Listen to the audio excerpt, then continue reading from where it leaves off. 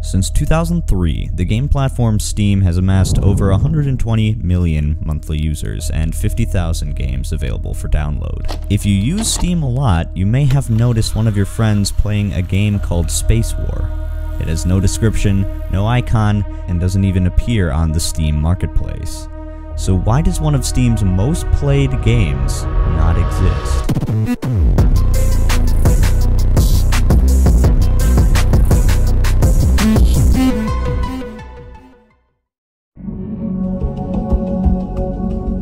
Believe it or not, our story begins all the way back in 1962 with a man named Steve Russell, or Slug as he came to be known as.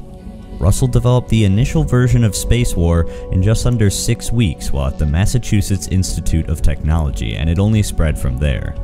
Not only did other students and faculty at the school both play and modify the game, but it began spreading to other areas as well. Before he knew it, Russell's game was everywhere. On a side note, Spacewar is credited as possibly being the first ever digital video game, but that has never been officially proven. Now that's all fine and good, but what exactly does this have to do with a secret Steam game over 60 years later? Well actually, the answer is simpler than you may think. Spacewar was added to Steam as a way to test and demonstrate the Steamworks API, which includes things like networking, voice chat, and multiplayer. It was never meant to be played per se, but exists to show game developers the possibilities of Steamworks implementation, which is why it remains in this hidden state. Up until now, everything makes sense. An old game being used for testing Steamworks code, the general public has no need for it, so it remains hidden on the platform. But this is where things start to get muddy. If Spacewar only exists on Steam to be a test program, why does it harbor so many users?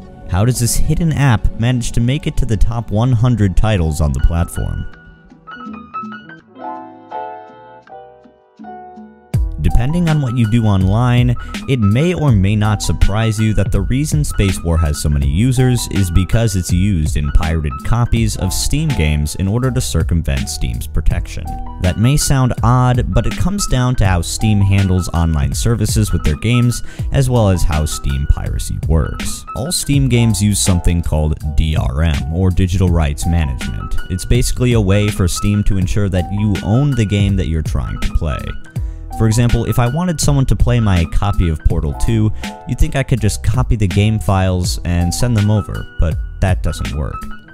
Steam detects the game, checks the user's licenses, and doesn't allow the game to launch due to them not having ownership of that title. Now, of course, pirated Steam games do exist, so there is a way around this. The most common tactic used by hackers is something called a Steam emulator. It's basically a program that pretends to be Steam, but isn't connected to any online Steam services, so Steam isn't able to see if you own the game, and the game is able to launch.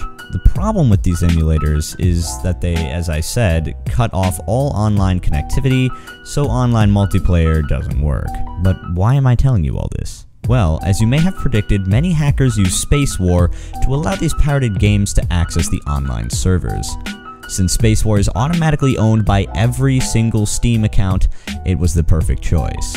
They essentially trick Steam into thinking that this illegal copy of a game is actually Spacewar, so that the copy has access to all the online features of Steamworks. This then allows players to have access to multiplayer servers, Steam friend connectivity, and other online features. Interestingly enough, from my research, mentions of Spacewar as a Steamworks test go back before 2011, but the first mention I can find of Spacewar in the context of piracy was a Steam community post from 2014, but it's very possible that it was used for this purpose far before that. There's no reason that this is going to stop for now, so if you see your friend playing Spacewar on Steam, now you know why. So that was the story of Spacewar, and I hope you enjoyed it. I know this was a shorter video, but hopefully it taught you something interesting. And if you liked it, make sure to click like and subscribe as well to support my channel. Thanks so much for watching, and peace out.